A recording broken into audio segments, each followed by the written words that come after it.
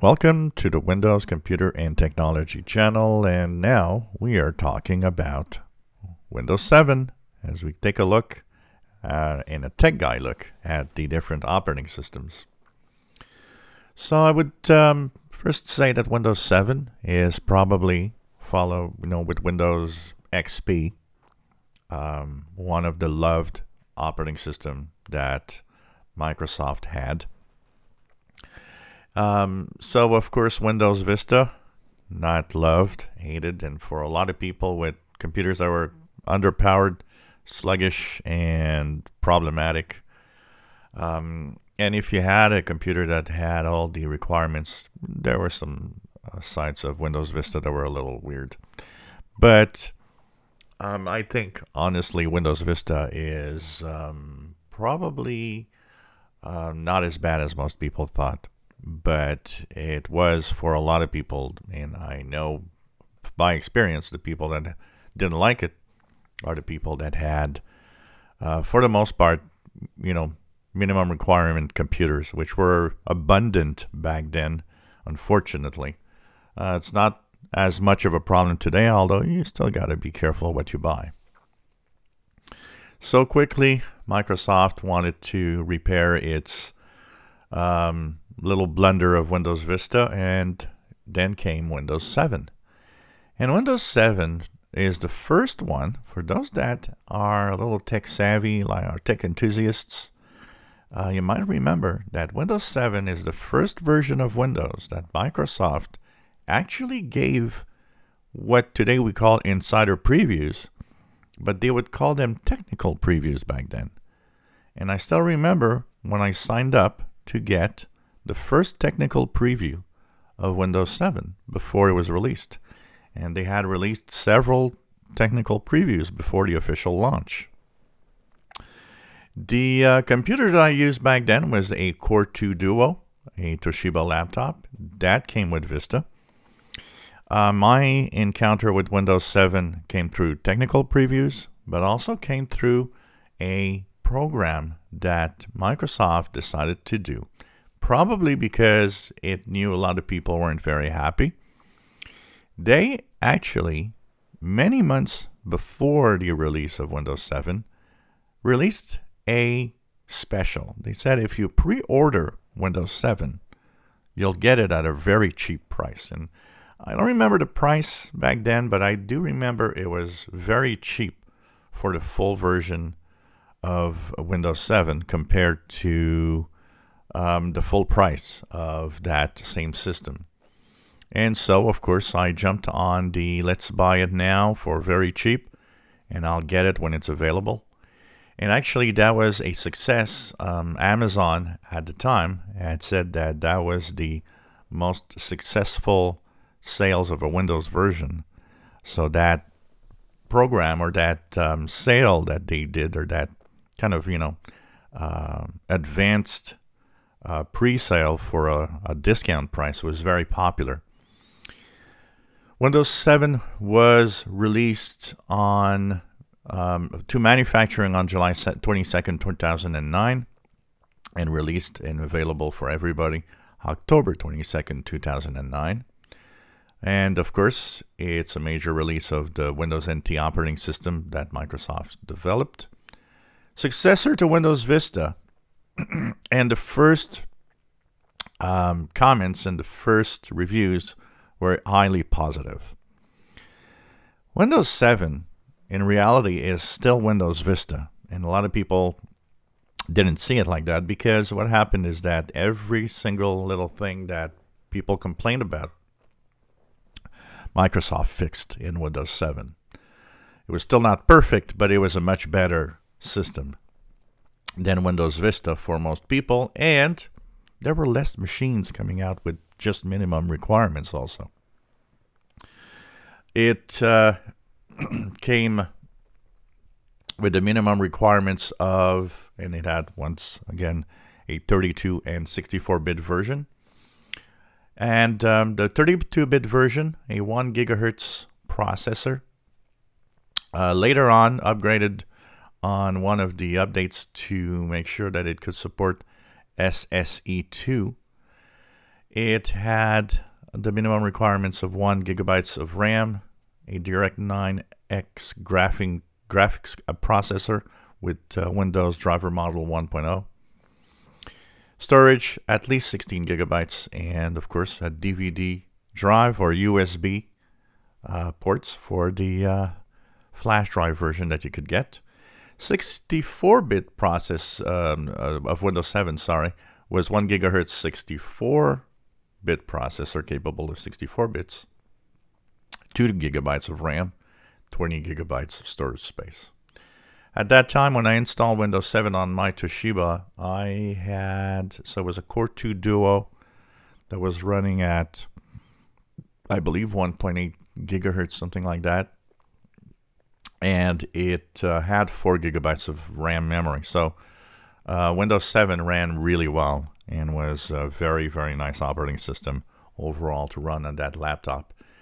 And I kept Windows 7 on that Toshiba laptop until Windows 10 arrived. And um, that Toshiba laptop ran Windows 7 very, very well all the way through.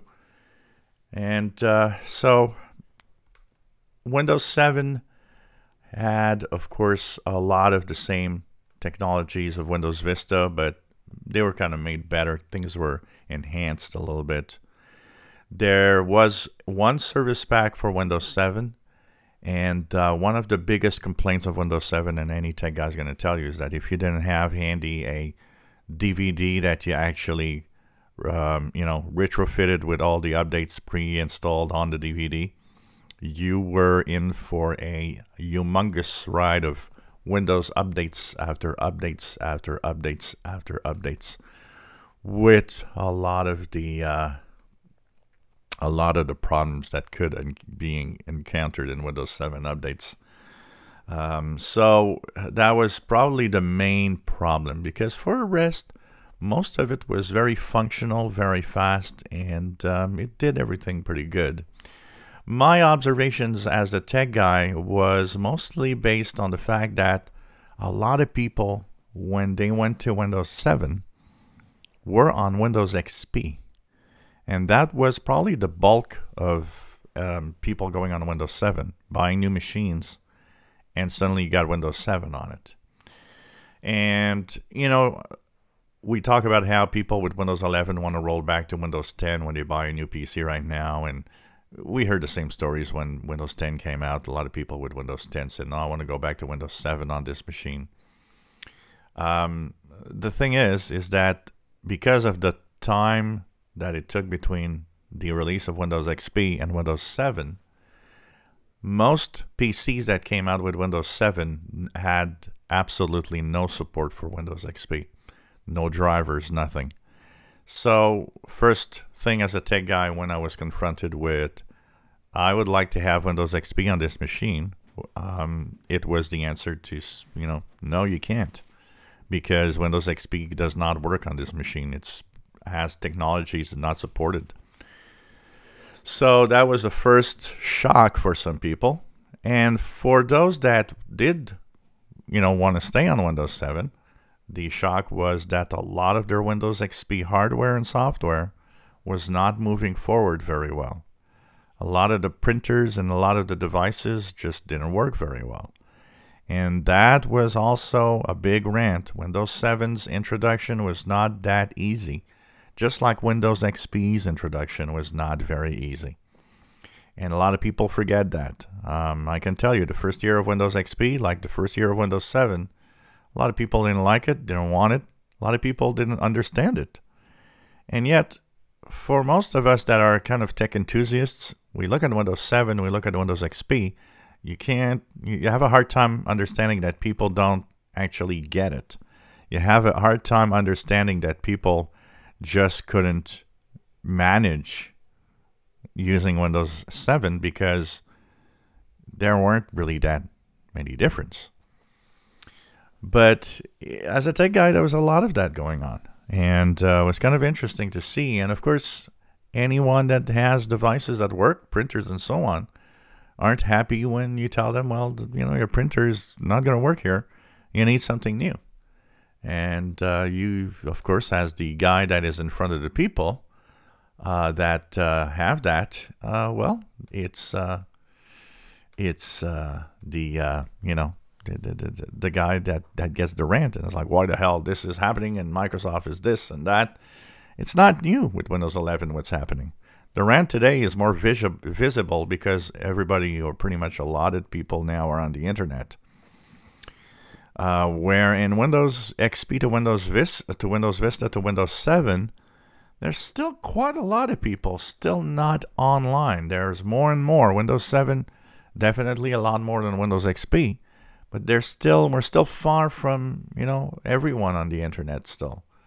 Um, it's not like 2020, 2021, where yeah, okay, if you're not on the internet, you're now pretty much you know the exception to the rule in in, in many countries. Uh, activation online once again, and activation, of course, like Windows XP and Vista, stuck to one machine. So if you wanted to move your system to another machine, um, well, you had to call Microsoft and uh, explain that you're moving Windows to another machine. And of course, there's OEM machines and so on that were different from what when you bought the CD. So um, you know, and uh, of course, Microsoft was at that time uh, pretty much uh, a um, in the antitrust uh, problems. So um, when it actually got through, well, there were things that changed, and one of them in Europe, for example, the European antitrust regulations said, well, you got to have a ballot screen. You got to have a screen that pops up in Windows 7 that gives a choice of different browsers, not just Internet Explorer and so on. So, uh, of course, that was something that was a lot of uh, of change. Uh, Internet Explorer 7 came with Windows 7, and of course, it moved on uh, later on. Overall, the uh, system was loved, and overall, it actually was very popular. Um, by 2012, there were 630 million licenses sold for Windows 7, and so that's in 2012. And um, it stayed the most popular operating system until it got beaten by Windows 10 as the most popular version worldwide in January of 2018. Of course, end of support came on January of 2020, and uh, which is kind of, you know, I just realized that uh, next month, January 2022, is going to be already two years. Incredible how time flies. And uh, it's still, you know, a lot of people missed Windows 7 when uh, it came, it, it, it was uh, end of support. And um, I think Microsoft did a very nice combination, a very nice idea that they had when Windows 10 arrived. And the idea was, you know what, let's give it free to anybody with Windows 7. And in 2015, when Windows 10 arrived, well, you had it free for anybody. So the idea behind it was you had it free for the first year. And then if you didn't upgrade for the first year, you had to pay for it. But the uh, loophole of Windows 7 to Windows 10 still works. If you have a valid key, pro, you know, product key, of Windows 7, um, you can move on to Windows 10 for free. It still works. Of course, um, the next version was, was Windows 8, but a lot of people jumped over it, even though some people did go to it. And we'll talk about Windows 8, of course, in the next video. Another one that was not loved of the Windows operating system. And last but not least, Windows 7 was extremely stable. I mean, crashing Windows 7 is a little bit like Windows XP. Crashing Windows 7 was a hard thing to do. You really had to to do a lot of you know bad stuff or or have some hardware failure because um, it it really literally was a rock solid operating system. So, what's your fond memories of Windows 7? Is it one of the most loved or your favorite? Uh, tell us your own little memories. If you enjoy our videos, please subscribe, give us thumbs up, and thank you for watching this series on the Tech Guy's view of Windows 7